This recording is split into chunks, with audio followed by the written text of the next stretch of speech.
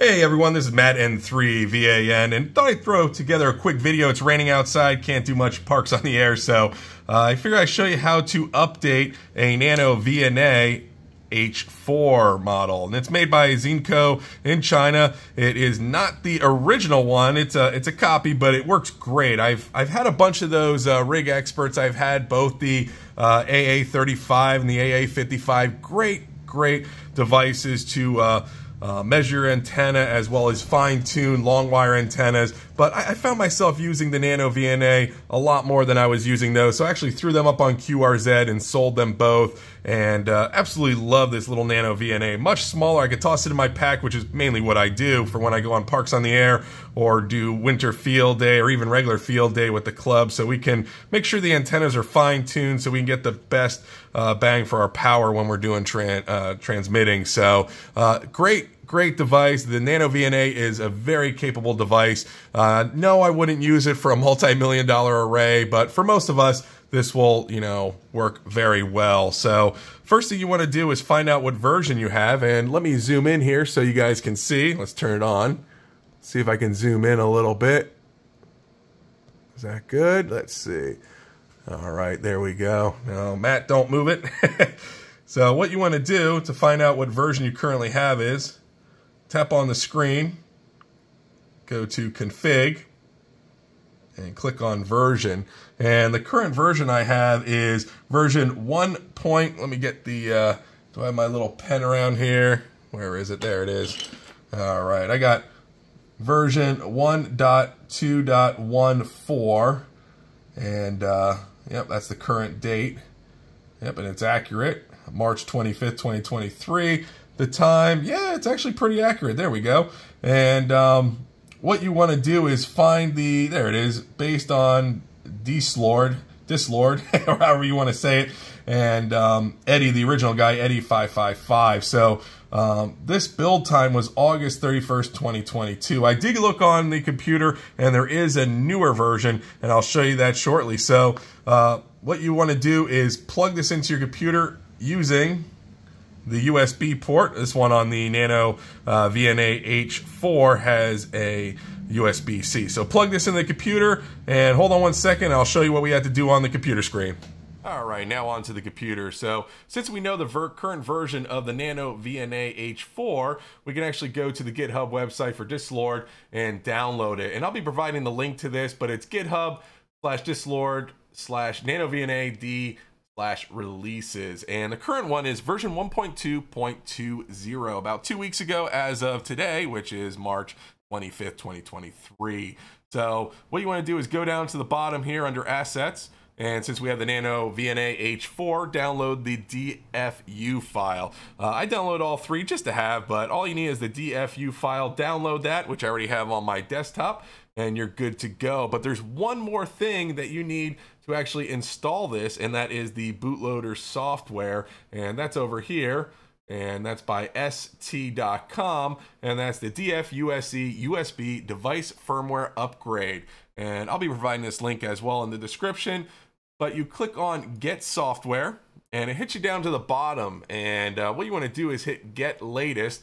It's going to have a little software form to throw you into a newsletter. Eh, i don't really care about that so i might actually throw the current software that's out there right now um, onto my uh, personal website and throw the link in the description as well. But uh, if this is a video that you're watching uh, maybe a few weeks months or a year later, uh, you probably would want to fill this out to get the latest version. So you fill out your first name, last name, email. Don't have to click on this bottom part here. That's just to inform you of future updates and then go over here and click download. We're not going to do that because we already have that and it's on the desktop right here. So I have a little folder, Nano VNA H4 firmware update. And these are the files you need. You probably won't see the hex of the bin. I downloaded that, like I said, just to have. And uh, what we're concerned about to get first installed is the en.stsw bootloader software, the DfuSe demo. Um, and what we want to do actually is extract this onto the same folder. There we go. And it reopens.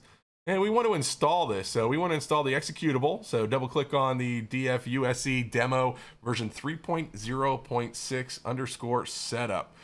So we're going to do that right now.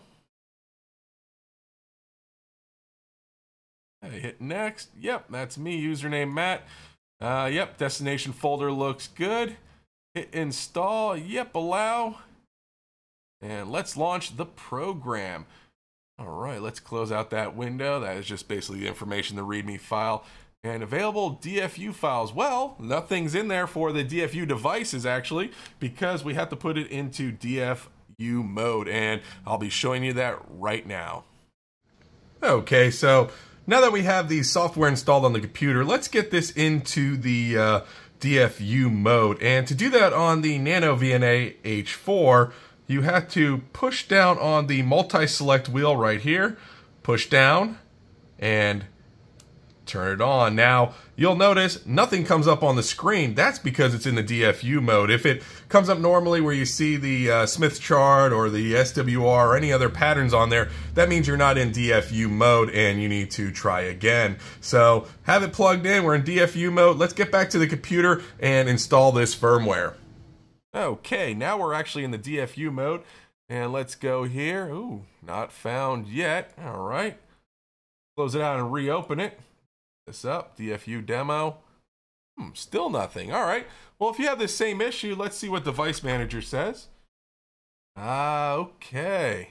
All right. Device Manager has a warning on there. Something's up. So what you're probably going to do is hit Update Driver, search automatically. Ooh, Windows hasn't uh, was unable to install the STM 32 bootloader. Well, if you got this like I did, don't panic. Uh, what you want to do is right click on here click on Update Driver, browse my computer for drivers. And what you want to do is toggle over to uh, the program file, if this is Windows, uh, program files x86 and uh, slash STM, ST Micro Electronics, and um, click Next. And hey, look, STM device in DFU mode. Boom, and it brings it right down here into Universal Serial Bus Controllers. So if you see this, you're good. But if you ran into that little problem, I just want to show you guys that you can actually uh, fix that without panicking too much. So um, once that's in there, we're good. We can get out a device manager and hey, look, it's over there. So now that it's there, what you want to do is actually choose the, um, the DFU file. Obviously, there's only one device, so STM uh, device in DFU mode. All right, we're going to choose this. Hang on one second. Desktop. There we are. There's the DFU file. Hit open. File correctly loaded. That's a good sign. And then the next one is uh, we want to upgrade. Now, all right, we can't power off. Don't disconnect. Make sure your cat's not on the desk and uh, kid's not on your lap. So hit yes. Cross our fingers. Erasing phase, erasing. Yep. And yes, after this, you probably will have to recalibrate. We're going to find out if we lose anything. All right. Upgrade has been successful, and that is a good sign. So we are good to go. And uh, what I'll do is uh, we're done with the computer, so I'll show you what it looks like when we power it up and see if I lost any of my settings or configurations. All right, let's see uh, how it looks with the update completed. Let's see. Let's turn it off and back on. Ah, yep. All my configurations and settings have been wiped, which uh, that's similar to doing like the Mars mod on the VX6R. Make sure, well, I don't think you can do a backup. So on this one, once you do an update, uh, you have to go through and redo all the configurations. Uh, Eh, even the calibration, maybe? Yep. Let's see if the version shows. There it is, version 1.2.20, March 12th, not too long ago. So that's pretty much it, guys.